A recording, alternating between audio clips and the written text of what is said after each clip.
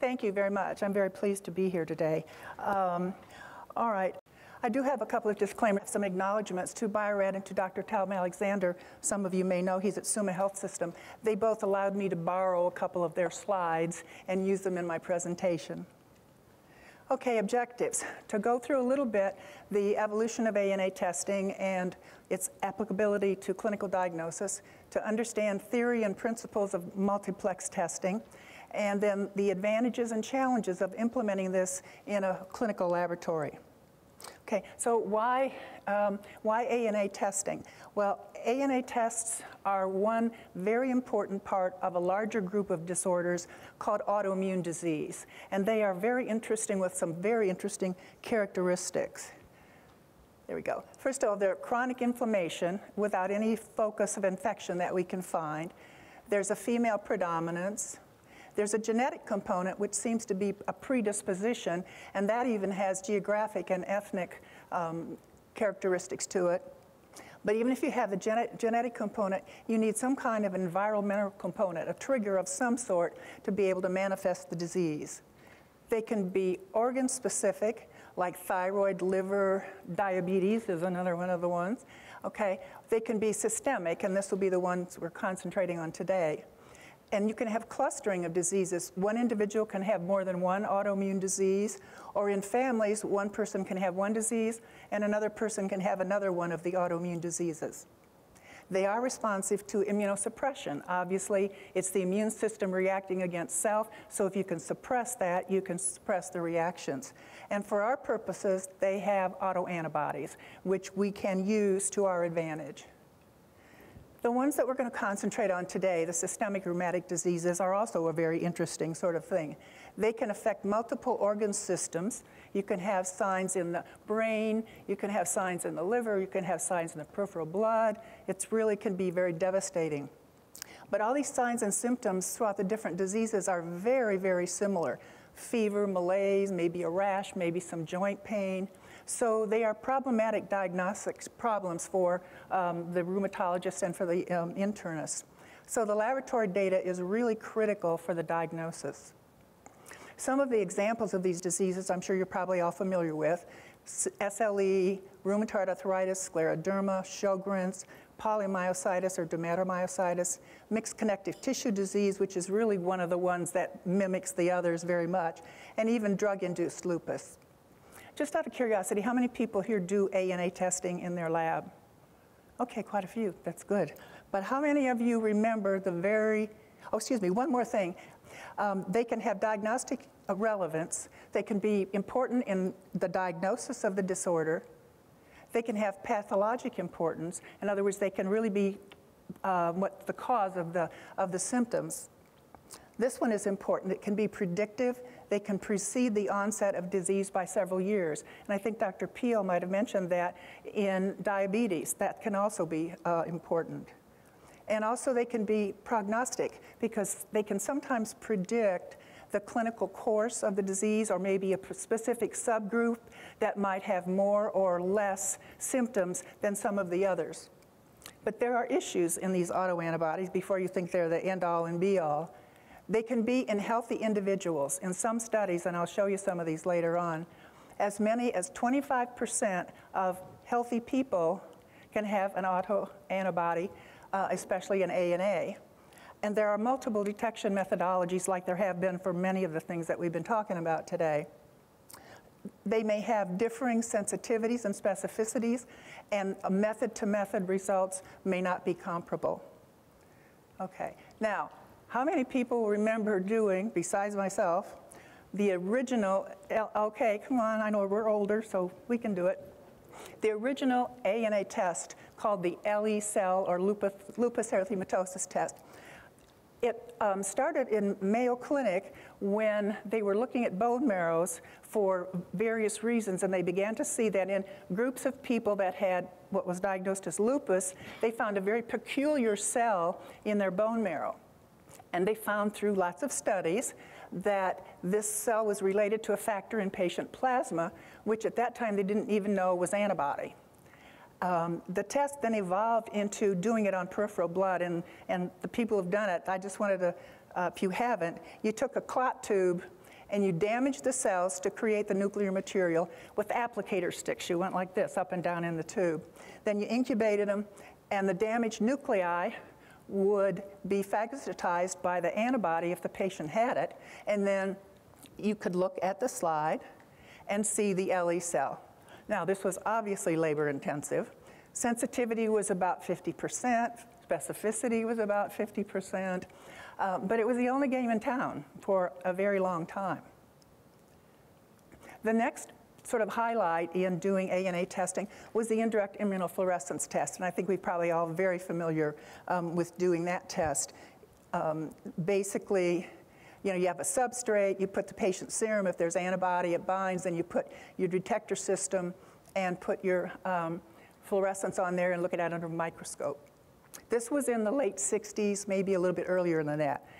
At the time that this first came out, they used an animal substrate, rat or mouse, liver or kidney. Of course, now that's been replaced by HEP2 and sometimes the HEP 2000. Again, it was fairly labor intensive. Again, that's no longer true because now there are many automated um, procedures that can, or instruments that can actually automate the whole thing, do the staining, the washing, and everything for you. And in addition, there now are digital microscopes that will actually try to read and project a pattern so you don't have to sit there and go like this. There was improved sensitivity and specificity, but you still needed quite a bit of technical expertise to read these slides. And the reason was you saw fluorescence everywhere in the cell, some in the nucleus, some in the cytoplasm. This is a composite. I actually kind of like this slide, but if you look at it, there's three panels across this way, and four down this way. So those of you who do ANA testing, you can um, pick some of these out. But um, if you haven't done it before, you could see how it would be kind of difficult. But when they looked at all these patterns, what they found was that certain patterns seemed to be correlated with certain diseases. There was a rim homogeneous pattern where the rim of the nucleus was fluorescent you could find speckles all over the place. They could be big, they could be small, they could be fine granular. All of these different types of, of names have been applied. The nucleolus could fluoresce. In dividing cells, you could see centromere. You could even see cytoplasmic staining, and the ribosomes might be stained. So they correlated these sort of with disease, but you can see how much overlap there is. So you couldn't say speckled pattern is SLE for sure because it could be several other things, or you couldn't say SLE is always going to give you a rim pattern because it may not. So what they did then, again, we're talking years of work. This is the same chart as before, but I've inserted in the center what they think was the antigen target for some of these things. So the rim homogeneous most likely was chromatin or double-stranded DNA. The speckled pattern could be what they now call SM, which believe it or not, was named for Mr. Smith, who was the first person in whom they found this. So it has no other bearing than that. Uh, but you could also have RNP, ribonucleoprotein, SSA, SSB. The nucleolar was more or less what they call it SCL70. Centromere was centromere. Cytoplasm speckled in the cytoplasm was actually JO1, and then ribosomal staining, ribosomal P. And you could see that with lupus in particular with CNS symptoms. Now, we know more today, too, uh, exactly what some of these things are. Um, the uh, JO1 is a histidyl transferase, and SCL70 is a DNA topoisomerase. So we do know, you know, a lot more about what these are, but we still call them the names that we're familiar with. The next thing then, which took advantage of having these pure antigens, was the ELISA methodology, and Dr. Um, I think was it Dr. Uh, Pandori went through these this morning, so I won't have to go through that. But this was in the 1970s, and it was automated, so that took away at that time one of the problems with doing so many manual immunofluorescent tests. It did have good sensitivity and specificity. You could now test individually for multiple different ANA antigens, but you needed a separate test for each one of the antigens. And I want to return for just a moment to antigen selection because that is crucial and key in interpreting ANA tests. Every manufacturer has their own way of getting their antigens. They're going to have different ways. They're going to probably be proprietary, so you know they don't want anybody else to, to know how they're getting things going. And they're going to give you different results. So you can take a whole cell extract, you could do a purified antigen, you can do recombinants, and some of them are even synthetic. The issue is this, if you do a whole cell extract, you're really doing like an ANA screen because there's so many specificities in there, you, you're just not sure. You know you have a positive and that's about all. You also have to make sure if you're trying to do a specific cellular component that it's a really pure preparation. And you have to verify the identity of the preparation by um, usually sharing it with other people and getting them to agree, yes, this is the specificity that it is. And one problem with any of these tests is that conformational antigens may be lost when you fix them to some type of um, solid phase slide. So we had ELISA for a while, and now finally, what we have available is multiplex technology. And I think some of you are already using it. We've been using it since January of this year, just about 10 months. It's a bead-based technology, eight micron beads, and it really combines several different uh, methodologies in one. It's flow-based because you analyze these individual beads as they pass single file through the detectors. You have fluorescent technology because you can identify the beads with the dyes that they have, and then also identify with another fluorescent um, detector whether it's positive or not for that particular antibody. And then the traditional antigen antibody biochemistry. So you identify the beads by the dye content, you label a specific bead with a different antigen, you mix them together with the patient's serum, and then you detect the bead first, and then whether it's positive or negative. So these slides are complement of um, uh, the uh, Bio-Rad people. So here are 25 color-coded beads, eight micron spheres, with a fluorochrome this way and another one this way. So you can see uh, this one particular has some high level of this one, but really a low level of this one over here. And this one up here, this bead has the highest of both of them. So you can identify which bead is which, and then you put the antigen on it.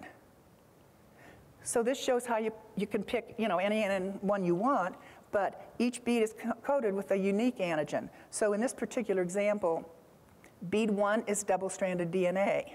Bead three is ribosomal P. Um, bead five, where's there bead five, is SSA. So you've got all of the different things in there, and what you can do is mix them all together. It doesn't matter because you can identify the bead anyway. So you can have a single bead reagent for multiple specificities. And then this is sort of how the sample is processed. You put the beads in, you add the patient's serum, you wait and incubate. And this, I think, is one of the interesting things. The beads have a magnetic core, so when you're going to wash, they turn the magnet on and it holds the beads out of the way while the wash is done. Then you can add your um, indicator system, your conjugate, incubate again, wash again, and then you have the beads suspended in solution and you put them to, through the two. So this shows the, that you first of all aspirate the beads into the probe. Then you run them through the flow cell. And each bead is subjected to two lasers. One identifies the bead, it's a 635 nanometer laser.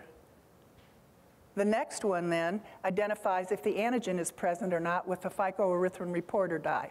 Now this one shows not ANAs, measles, mumps, varicella, rubella, but you know it doesn't matter what it was. These can also be done on the um, Bioplex. And this is my own slide that I put together to try to help me understand what is going on here.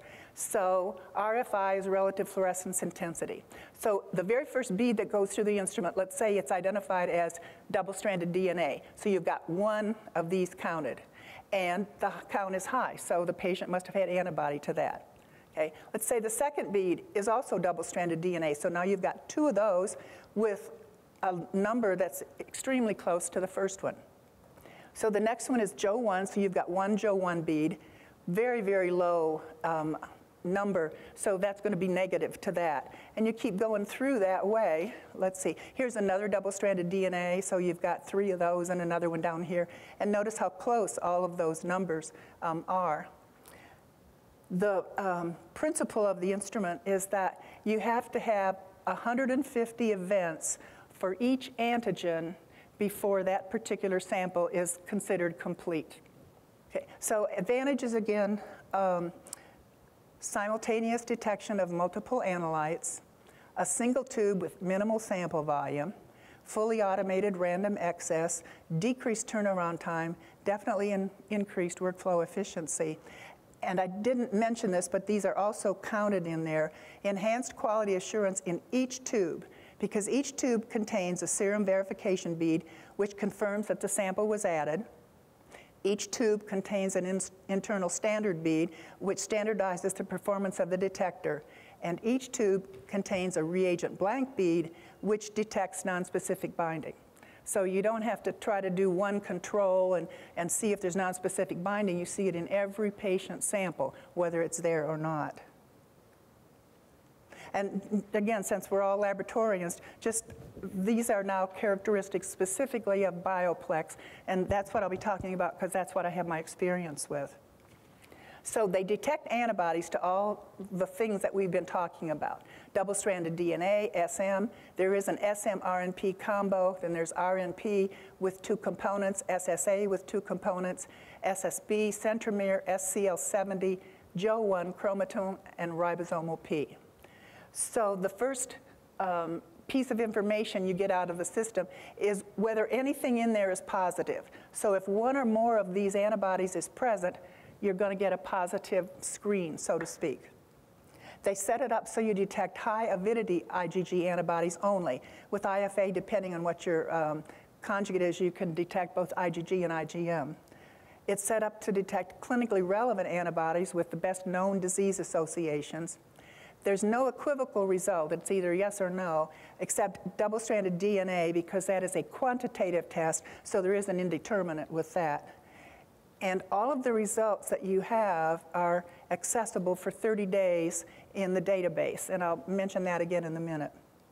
So again, just so you see the numbers that you might be talking about. For double-stranded DNA, linear range is 1 to 300 international units per mil. For the rest of these, which are qualitative, it's 0.2 to 8.0 antibody index. The negative is less than 4 international units. Less than 1 is negative for this. Indeterminate is the range here that's not applicable there. Positive is greater than 10 international units and here positive is greater than or equal to 1 antibody index. When I made the decision to try to do this, I wanted to give you just a little bit of information about our hospital system so that you'd know why I felt this was something that should be um, implemented in our system and why it would be good. So Norton Healthcare is in Louisville, Kentucky. We have five freestanding hospitals, have over 12,000 employees. There's four adult full-service hospitals, and there is the only freestanding children's hospital in the state of Kentucky. The system also owns multiple physician practices. They own many more than this, but I sort of put ones that I thought might be ordering ANA testing, internal medicine, pediatrics, rheumatology, et cetera. We have significant laboratory outreach in addition to all of this up here. And the immunology testing, as well as the microbiology testing, are all performed downtown at a central lab. We had last, last year about 8,500 ANA screens. I mean, if you work at Quest or any of those, that's nothing, but for us, that's quite a bit. And we have a fairly high positivity rate. I don't know why, but we do, 20 to 25%. It seems high to me anyway. And we had been, at this point in time, we're using an ELISA screen with also doing IFA titer and pattern on positives. Okay. So um, when I decided to try to look at this, I said, well, what have other people found by using the Bioplex? What, what's in the literature about comparing Bioplex to what we're currently doing?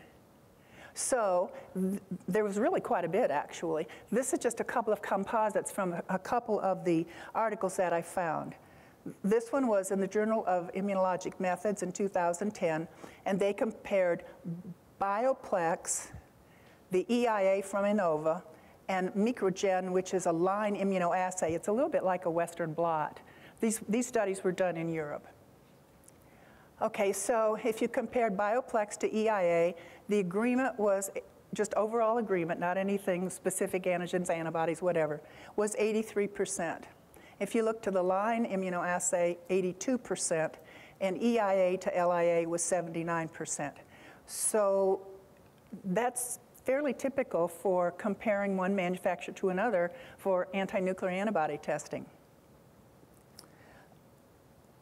this one right here was Bioplex to EIA um, Pharmacia, and that was 79% agreement. This was in the Journal of Rheumatology in 2007. So we see somewhere around 80% is the agreement that you're getting. This one I thought was very interesting, and it comes back to some of the points we talked about in the very first slide with genetic predispositions, et cetera. This group had, I think, almost 1,000 patients. They looked at patients who were carrying a diagnosis of lupus. They looked at their unaffected relatives, and they looked at healthy controls, quote unquote. And here's the results of the Bioplex percent positive, and here's IFA percent positive. But in addition, they broke these three groups of patients into subgroups, African American, Hispanic, and European American.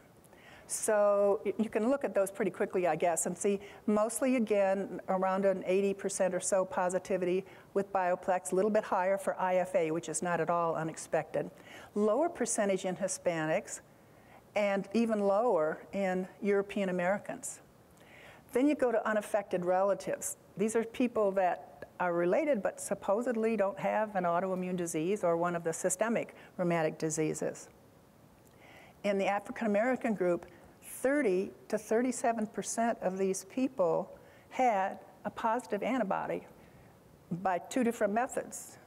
Hispanics, it was a little bit less, and European Americans, a little bit less than that. And then healthy controls, and I put that in quotes before, 20%, somewhere, this is the lowest, 10%, but up to 20% of these people were positive in the ANA by both of these two methods. Now, that either talks about some false positives or maybe some of the people in this group were in the group I talked about earlier where they have a presence of the autoantibody years before they even have the disease. Now, in order to answer that question, you would need longitudinal studies, which I don't think have been done. But, um, you know, I think that's interesting from just the, uh, the standpoint of how these diseases work. But it's interesting from our standpoint because we've got to keep this in our mind when we interpret results from patients. Okay, so um, I was able to arrange to get a bioplex in my lab, and I thought, oh my gosh, what do I do now? What, what's involved in making this transition? So this slide encompasses many months of thinking and work about what we need to do. Now, again, we're all laboratorians, so you know you have to do validation and correlation studies, okay? But I was going to switch from EIA to multiplex. Now, the Diamedix, which is the one we were using, did have a HEP2 extract and it was spiked with other antigens such as SSA. Bioplex didn't have the HEP2, so you know, how would that affect what kind of results we got? One positive thing is that I could bring in-house the ANA specific test that we were currently sending out because we were just doing a screen and if it was positive, we did do IFA and titer, but all the rest of the stuff we didn't do anything with. Um, how would we handle this for all of the different specificities? Should we report and charge the patient, and we would also pay, for all 11 specificities with any ANA order? Uh, we have 20 to 25% positive, but that means we have 75 to 80% negative. So all of those patients would be paying for 11 different tests, or maybe 12 if you include the screen, and they didn't need it. That didn't seem right to me. Um, should I just report the screen result and wait for the physician to order individual antigens? Well, that was one way to do it. Uh, and again, remember the data was there for 30 days afterwards, so we could go back and find that patient.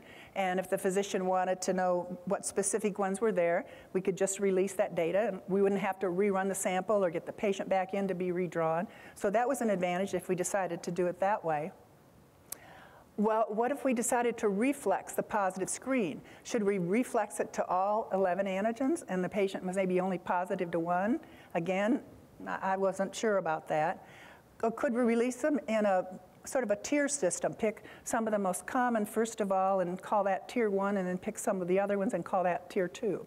So um, the other thing too is if we were going to do any kind of reflex testing, we had to have medical staff approval.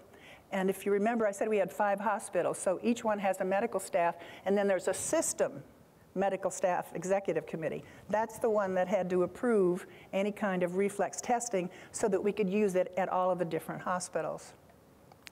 And the medical staff had to be educated because, as somebody said earlier, I think, yeah, Belinda with the RPR test, uh, you know, I've been ordering ANAs for 50 years and I still want to order an ANA IFA. So we had to teach them about ordering. We had to see new expected ranges. There would be new interpretive guidelines. And some people don't think about this till you get ready to go online. There are tons of computer changes that have to go on, not only in our LIS system, but in our HIS system. And to top it off, the outreach that we have, which is the for-profit arm of our corporation, they have a third LIS system. So we had three systems to try to interface so that the results could go out and we didn't have to manually send everything. So it was, you know, oh my goodness, how am I going to work this out? Well, I did it sort of in two different ways, and I'll talk about those separately. Um, the first way was what I called the technical, procedural kind of thing, doing all the validations, the correlations, et cetera. Then the second one was more of the process. What am I going to decide to do about all of these questions in here? So First of all, validation and correlation, you all know this really, really well, but this is how we got our patient samples. We saved known patient samples.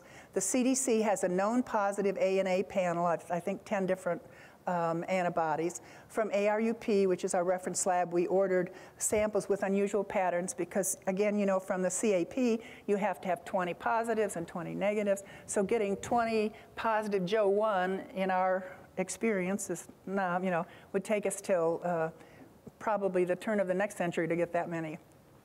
Um, and then we had to enlist the cooperation of the rheumatologist. So the rheumatologist, both pediatric and adult, I talked to them one-on-one, um, saying I was thinking about doing this, I was going to present the data, I would share the results of their patient, tell them the reason for the change, what the implications might be, and they were all fairly receptive to, to doing it at that point. Okay, now, just again, gross data across the top. This is what we did looking at IFA, and we were using 1 to 80 on this particular thing, okay?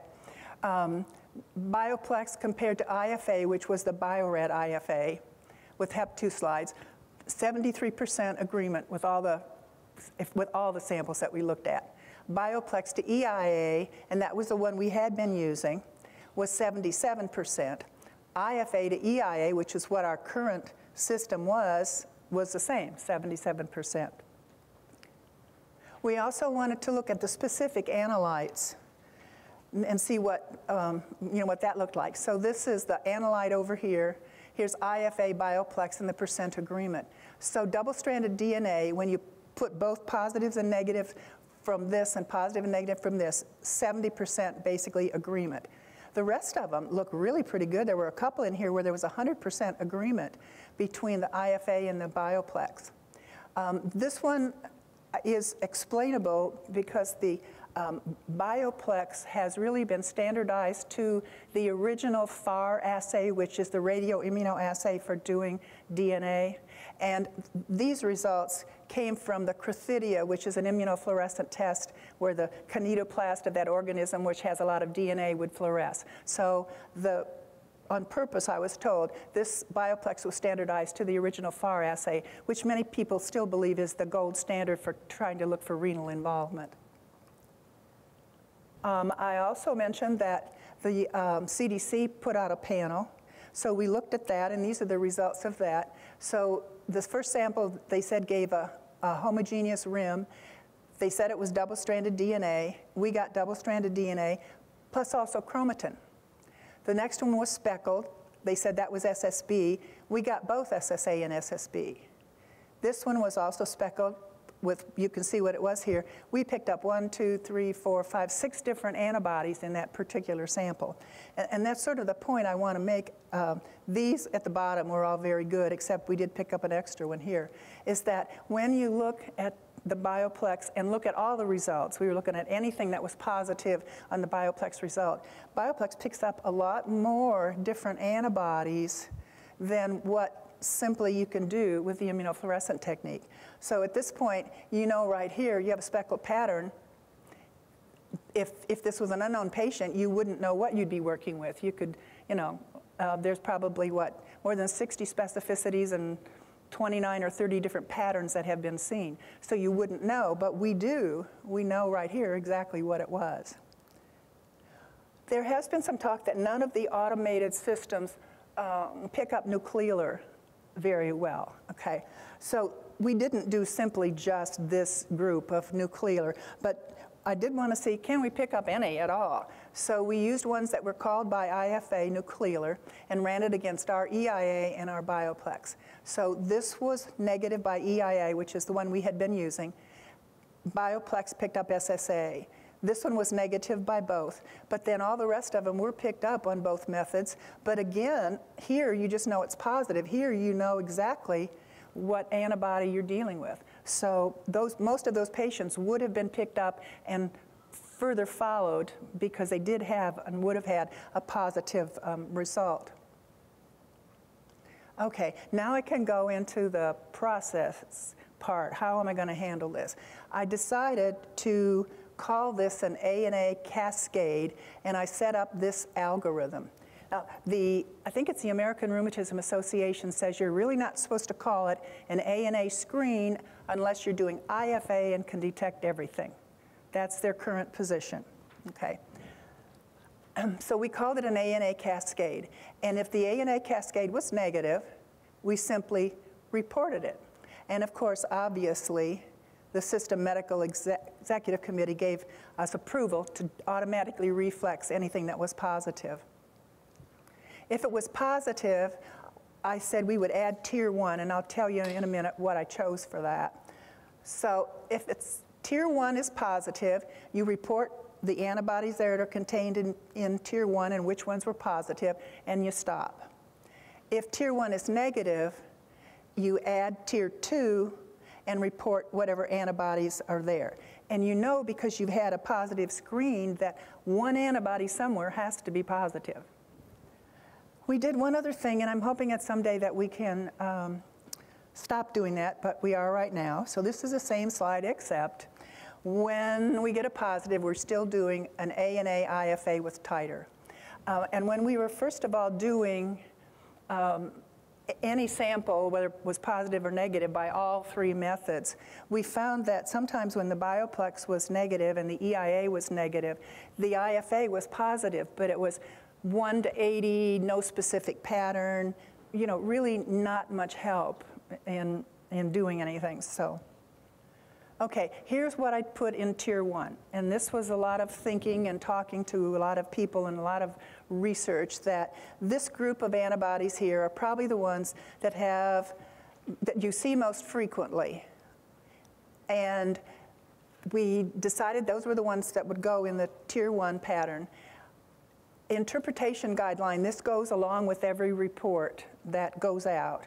So mostly with this percentage, which is a compilation from the literature, this says you might have SLE. But you also could have lupus nephritis, and you need to be aware of that. Um, I think Belinda or, or, Dr. Yen Lieberman was also saying we in the laboratory need to get out a lot more and uh, let the clinicians know what we can do for them and what we can't do for them so that they then can take that information and interpret along with everything else. Um, so these are the ones we have. You may have noticed um, previously in one of the slides that uh, the RNP and the SSA have two different components in them. That was one on one of the previous slides. In Europe, they, uh, the Bioplex separates those components out, and there's some evidence that they seem to have different disease associations or at least maybe some symptom associations, but that was not possible here. So this is, these are a composite this one is a composite, and, and then, um, excuse me, so is this one. So again, most of the time what the clinical association was, and then some additional things that they might do. This is interesting, I think, right here. If you have both of these, then the literature seems to show it's a high probability of SLE, which again, there's some evidence that shows that if a person has more than one anti-nuclear antibody, their chance of having a systemic rheumatic disease is much higher than if they just have one. So now here we have the tier two, and these were the ones, centromere, chromatin, Jo-1, and ribosomal P.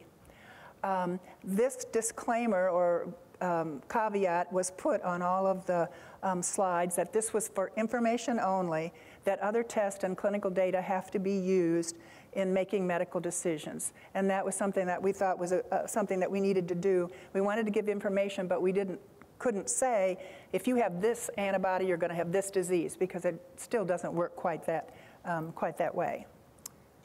Okay, so we um, started in January of this past year doing the ANA cascade just as a like a screen only and not reporting any of the individual titers because we also went live with several other things at that point. So in May of this year is when we started releasing the information on the um, particular antibody. So issues go live. So we again had, we didn't want really ANA screen on there anywhere in the computer selectable. So we substituted with new ANA Cascade, and um, if they selected the Cascade, that you know it's what they got, and if they tried to find ANA screen, they they couldn't very well. Okay, but we also had to have the individual antibodies orderable separately because sometimes that's all they want. They know what the patient's been positive for, and they just want to monitor that particular one. Well, one of the first things we found out was they would get what I was calling duplicate orders. They would order an A and a Cascade, plus they'd order SSA, SSB, or maybe Cascade plus double-stranded. Well, we knew, because we'd been living with it for months, that those antibodies would be detected in the screen. But even though I sent out to all the medical staff members of all five hospitals a blast fax telling them about the change and what this meant, it didn't sink into them. But, you know, that's, they don't live with it every day, so that really uh, isn't their fault. So we added, after about the first week or two, this comment to a negative ANA. We said, patient serum is negative for antibodies to, and I listed all those 11 or 12 antigens. So that has helped a lot. We don't get so many duplicate orders anymore. And then again, when, when they did get the duplicate order, we canceled that order as a duplicate with another comment that said antibody included in ANA cascade. So we still get occasional ones, maybe from new clients or something, but that has really helped a lot take care of, of what we call duplicate orders. We have had some discordant results, but you know, we're going to. That's not a problem. Um, the cascade is negative, and the clinician would call and say, I'd still like to have an IFA titer, so we would do it. In one case, it was a 1 to 320 rim pattern that the patient supposedly had double-stranded DNA in the past. Um, and, you know, but again, some of those, we're not going to pick up all of them. And then there were more computer issues to my mind, it makes sense. If you have an ANA cascade, you know, up here and you send it to tier one titer, that that result should be right under the ANA cascade. And that's what it looked like when we did mock computer things. But when it came out, the um, EPIC system puts results in in the order in which they were ordered. So the ANA cascade is ordered first, and then we have to get it and have to do it. And in the meantime, they've ordered a CBC and a complete metabolic panel, and then finally we release and order the reflex test. So it was separated on the computer screen. So, you know, you just don't think about those things, but you have to do something with them, I think. So, and then I guess in summary, it was really a relatively smooth transition. We've had no major complaints, a couple of calls about explaining something, so I think that was good. Um, we have improved the service because the, on positive cascades, the results are reported like, bam, you know, oh, here's a positive. We go in and you can set the instrument up. It goes in and releases tier one. And if that's negative, then we go and hit another button and it releases tier two and it, it's interfaced and they're there. The clinicians love that. We have improved diagnostic specificity, I think, also. Um, we have had a couple of clinicians tell us that they, they thought their patient might have lupus, but they did the screen, it was positive, and they found that they had um, one of the others, like maybe an SSA, SSB combination, which with everything else would more likely fit with Sjogren's syndrome. So I think that the multiplex technology offers many advantages. Oops. Oh, and the choice of method has to be determined by your patient population and what's important in your laboratory. Um, communication between clinicians and laboratory is absolutely critical in trying to put this together. And this is something that I think we need to realize and the clinicians need to realize. If they have a patient who has a negative result by any of the ANA techniques and they still have a very high clinical suspicion, then they need to call you and we probably need to try to do one of the other specificities to see if it's one of those patients that just doesn't match in the different techniques. Also, the presence of multiple antibodies is, as I said, highly specific for systemic rheumatic diseases. And you know that right away with the multiplex technology. You have a positive screen and you know there's four different antibodies that are present there. And the clinician then knows that information also immediately. I haven't mentioned anything about this, it's just a little bit to think about. Um, autoantibody profiles may be important in personalized medicine. I believe Dr. Peel was talking about that.